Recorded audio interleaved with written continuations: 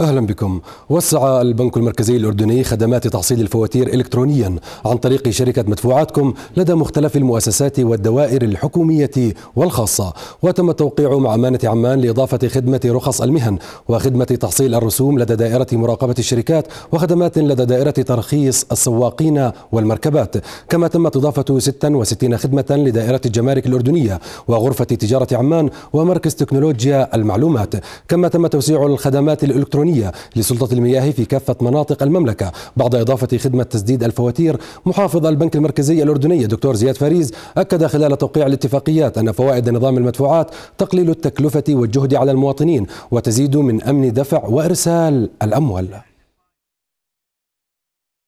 اليوم الحمد لله إحنا عندنا تقريبا أكثر من 150 خدمة تقدم من خلال نظام اي فواتيركم خدمة دفع. منها تقريبا 100 خدمة بتخص القطاع العام. ونتامل إن شاء الله خلال الأسابيع القادمة إنه مثل هاي الخدمات تتضاعف بشكل كبير. آه، حتى الآن تقريبا في حوالي من حوالي عام إحنا أطلقنا هاي هذا النظام اللي هو بإشراف آه، البنك المركزي.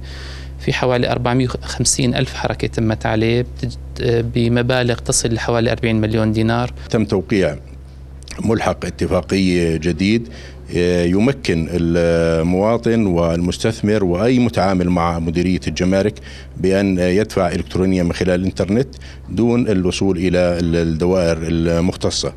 هذا الإجراء يأتي من خلال من من قبيل التسهيل على المواطن توفير الوقت والجهد على المواطن وأيضا منع التلاعب والخطأ الفردي وتقليل الخطأ البشري في في هذه الأنظمة سجلت الموازنة العامة عزا ماليا خلال الشهور العشرة الأولى من العام الحالي بحوالي 835 مليون و600 ألف دينار مقابل عز بلغ 696 مليون دينار لذات الفترة من العام الماضي. وتحقق العز نتيجة انخفاض حجم الإيرادات والمنح الخارجية إلى 5 مليارات و300 مليون دينار وبنسبة 5.5% عن ذات الفترة من العام الماضي وانخفاض النفقات إلى 6 مليارات و100 مليون دينار وبنسبة 2 7% وأظهرت نشرة وزارة المالية الصادرة اليوم أن حجم الإيرادات المحلية بلغ في أول عشرة أشهر من هذا العام نحو خمسة ملايين دينار نتيجة زيادة الإيرادات الضريبية إلى ثلاثة مليارات ونصف المليار دينار وتراجعها من الإيرادات الأخرى إلى مليار وأربعمائة مليون دينار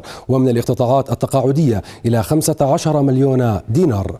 أما صافي الدين العام لنهاية تشرين الأول الماضي فارتفع بنسبة 9.9% عن مستواه بنهاية العام 2014 ليصل إلى 22 مليارا و500 مليون دينار حيث بلغ رصيد الدين الخارجي 9 مليارات ونصف المليار دينار وبلغت أقساط وفوائد الدين الخارجي 81 مليون و800 ألف دينار. أما رصيد الدين الداخلي فارتفع إلى نحو 13 مليار دينار.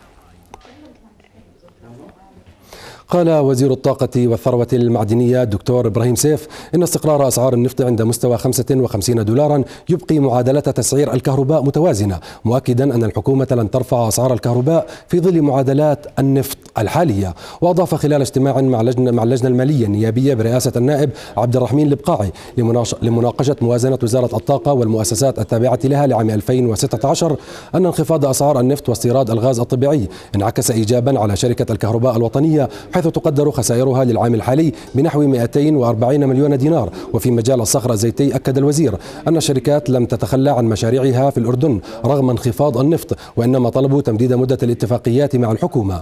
رئيس هيئة الطاقة الذرية دكتور خالد طوقان أكد أن التشغيل الساخن للمفاعل البحثي سيكون في شباط المقبل وهو إنجاز تاريخي للأردن.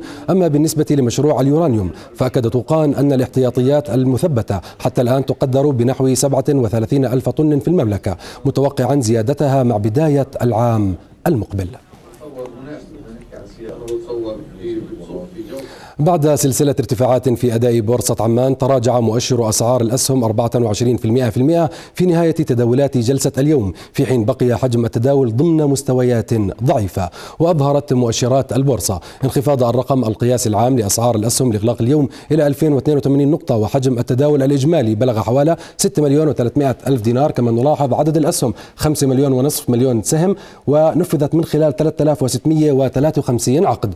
أما على المستوى القطاعي فقد انخفض الرقم القياسي لقطاع الصناعة بنسبة 72% وللقطاع المالي 20% ولقطاع الخدمات 10% في حين جاءت مساهمة القطاع المالي الأعلى في حجم التداول بنسبة 64 و13% قطاع الخدمات 19 21% وأخيرا الصناعة بنسبة 16 و66% أما الشركات الأكثر ارتفاعا في أسعار أسهمها فهي الموارد للتنمية والاستثمار بنسبة 9% تقريبا المصانع العربية الدولية للأغذية والاستثمار بنسبة 7 و14% والأكثر انخفاضا كانت الفنادق آه، والسياحة الأردنية بنسبة 7 و39% أخيرا العربية للمشاريع الاستثمارية بنسبة 6 و67% وإلى خبر آخر تنتهي في نهاية الشهر الحالي مهلة استفادة المكلفين من قرار الإعفاء من الغرامات بنسبة 25% في حال تسديد أصل المطالبات الضريبية المستحقة عليهم. ودعت دائرة ضريبة الدخل والمبيعات المكلفين الذين تترتب عليهم أرصدة ضريبية دخل ومبيعات إلى تسديد أصل المطالبة قبل نهاية الحادي والثلاثين من من الشهر الحالي للاستفادة من قرار إعفاء الغرامات على المبالغ المترصدة عليهم. وشمل قرار مجلس الوزراء إعفاء الغرامات والفوائد القانونية لمستحقات عام 2014 فما قبل.